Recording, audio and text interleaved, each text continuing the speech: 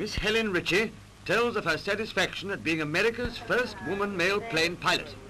I'm very glad Central Airlines gave me this opportunity to fly as co-pilot on their air mail and passenger line from Detroit to Washington and return. How do you like the natty hat and costume, girls? Well, good luck, Helen, on your first trip.